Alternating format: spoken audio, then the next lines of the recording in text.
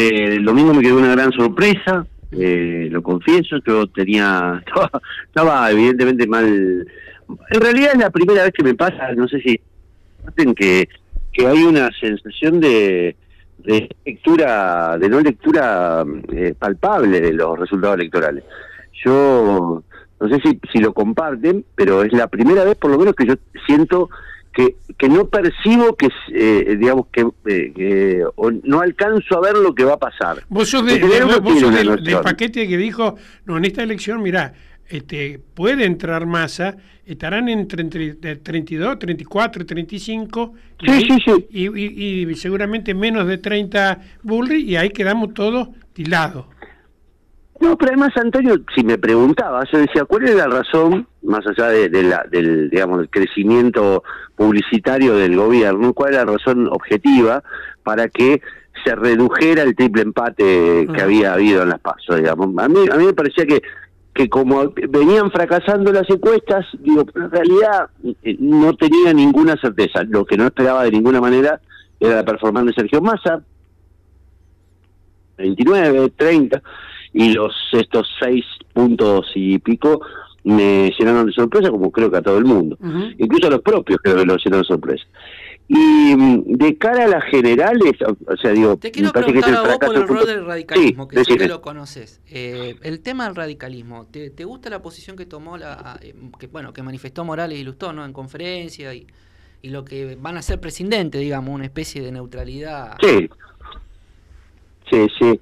No sé, eh, a ver, me parece que es la, extinción de Juntos por el Cambio, eso es la, digamos, es la disolución de una sociedad electoral que venía a los banquinazos eh, consecuencia de la de la de la este, manipulación constante de Mauricio Macri. Creo que Macri había hecho de la coalición lo que él quería. yo la verdad sentí felicidad porque siempre sentí que el radicalismo era el amante y hoy la amante se enojó, esta semana, la amante se enojó y dijo, no, basta. Sí, pero además, Antonio, de verdad te están obligando a, a aliarte con que desde el punto de vista ideológico, discursivo, eh, están más cerca de, digamos, de, de la de la de la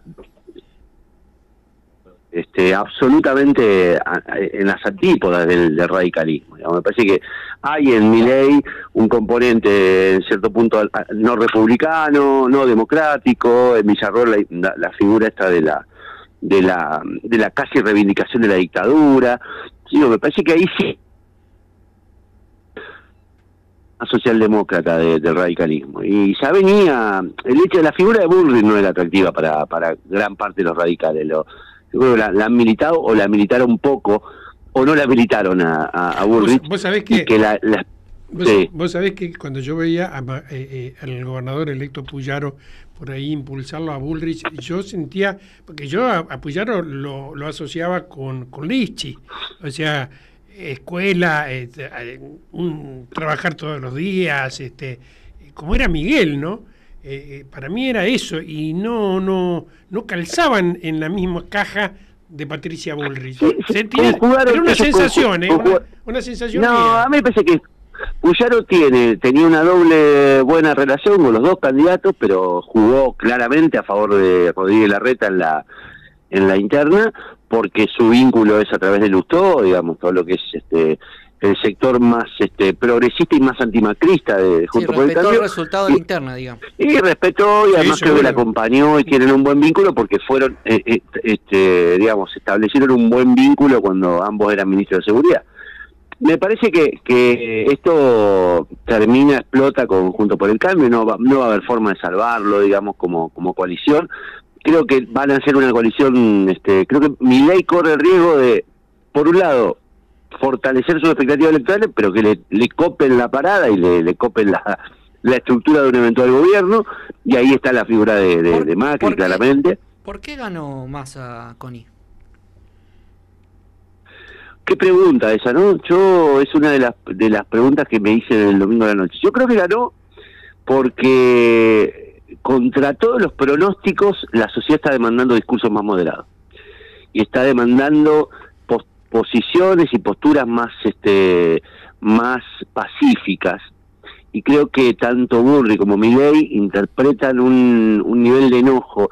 Yo a Milei lo veo como rabia pura, creo que es rabia pura, me parece que es un nivel de, de, descontento acumulado ahí, una figura muy este muy este poco estable emocionalmente, con, con, con figuras este, ideológicas, económicas casi prestatales, y en el caso de Junto por el Cambio creo que se inclinaron hacia la posición este, más este, enseguecidamente antica y la sociedad yo no sé si está reclamando más grieta y más pelea.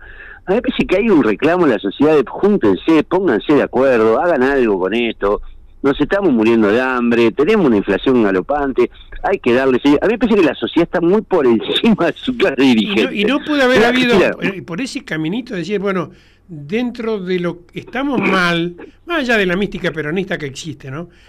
estamos mal, pero el único tipo que más o menos es un profesional, es como que vamos a jugar al pádel y uno sabe pegarle a la, con, la paleta y los otros no. Sí, sí, sí, sí. sí, por, el, el, peor, es el, peor gobierno, pero el único tipo que más o menos sabe jugar al fútbol. Y que está operando esta maquinaria, que sabe cómo manejarla que a lo mejor conoce la salida. Pueden haber un montón de razones. Creo que hay un componente peronista, pero también creo que hay un componente muy, eh, muy claro de un sector de la sociedad que no quiere el estallido. Porque yo creo que la respuesta de los mercados el lunes fue la demostración de que eh, la única posibilidad de que esto transite un camino, entre comillas, relativa normalidad, es con un nivel de continuidad y un nivel de negociación en la, en la, en la transición. Mm.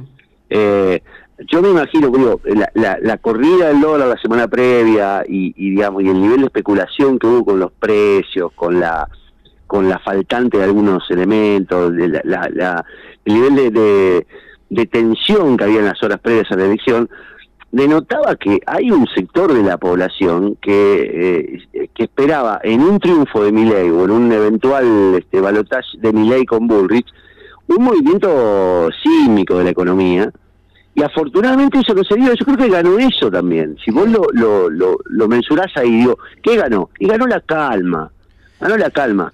Me parece que hay una búsqueda ahí que creo que Juntos por el Cambio no la entendió y que eligió por el, camino más, más radical en el sentido de extremidad con Patricia Bullrich, que por otra parte fue una pésima candidata, hay que decirlo, Patricia Bullrich contra todos los pronósticos fue una mala candidata, ¿no?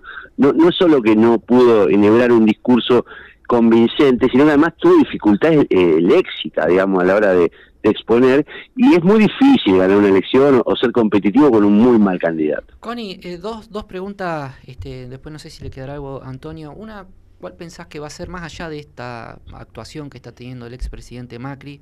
¿Cuál va a ser la actuación de, verdadera de Macri hacia adelante? ¿Cuál va a ser el rol que va a tener Cristina Kirchner en este, en este gobierno de probable de masa? ¿Y qué impacto va a tener esta división de Cambiemos en la provincia de Santa Fe? A la primera que te la reúno en, las, dos, eh, yo espero, esperaba que este resultado eh, produjera la extinción de las dos figuras este, más representativas de la grieta del enfrentamiento nacional. Sinceramente, yo creo que. Sin embargo, a uno, a uno lo deja como dueño y patrón de, la ciudad autónoma de Buenos Aires y, otro de la provincia. Sí, pero de todas maneras yo creo que Kisilov tiene vuelo propio. Eh, la ausencia de Máximo Kirchner en el escenario en el momento de la celebración no fue, no, es un gesto, eh, digamos, menor. Creo que el, impacto de Isaurralde y la banca de Isaurralde de, los Kirchner me parece que les, les, crujió ahí adentro, porque Isaurralde era una figura de Máximo directamente. Yo creo que hay una reconfiguración del poder ahí. Creo que si gana Massa la presidencia, el kirchnerismo está literalmente extinguido, creo que Massa es un, es un pandemonio en el sentido de que creo que tiene el hambre de poder que tenía Néstor con 51 años, con la energía de un tipo de 51 años. Eh, creo que estamos en presencia de un nuevo liderazgo, de, un fenómeno que, eh, digamos, no tiene otro si gobierna más o menos bien y, conociendo la herramienta, creo que estamos en presencia de un, nuevo liderazgo que va a conducir el peronismo y al país por los próximos ocho años. Pero eh, ese es el, caso de que gane más. El caso de que pierda, seguramente el, peronismo entrará en una discusión, eh, como siempre, de, de, tironeos para ver quién, quién este, reconduce todo esto.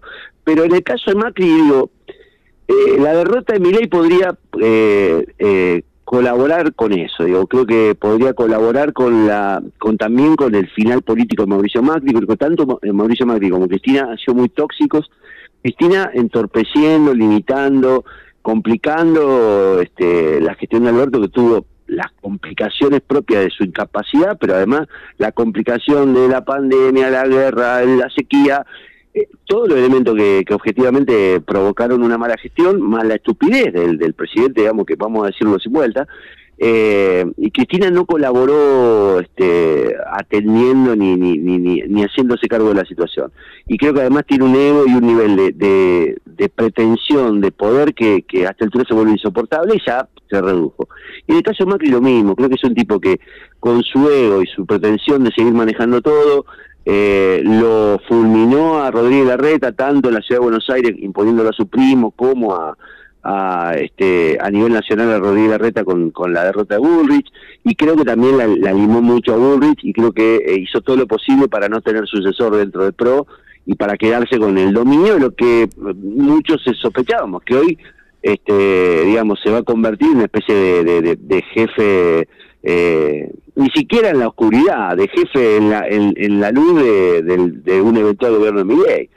Digo, eh, creo de los dos que son tóxicos, que nos han conducido a un, nivel de enfrentamiento insoportable, que han este, desperdiciado sus años eh, más lúcidos que nos pudieron haber dado algún nivel de regeneración productiva, eh, hay tanto por sacar abajo de la tierra en la Argentina, tanto por producir, tanto por generar, que digo, ¿cómo fue que perdimos tantos años? Bueno, por la estupidez de estos, de estos dos hombres, ¿no? O, por los egos. Y respecto al, a lo último, que creo que eh, tenía que ver con... Sí, ¿qué impacto va a tener el, lío de Cambiemos Ojos a nivel nacional en la provincia de Santa Fe? Sé que yo...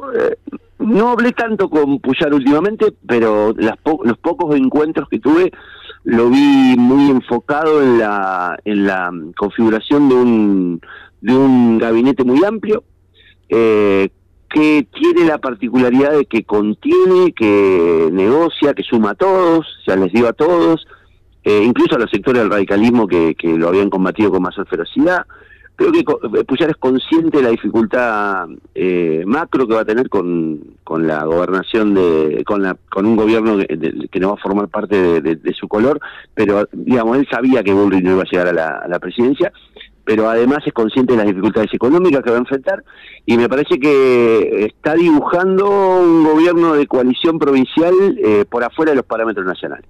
Así que de hecho, hoy se anunciaron dos o tres designaciones que son muy simbólicas. Lo, nombró Fourier, el ex eh, canciller, como, como mm, secretario de Relaciones Internacionales.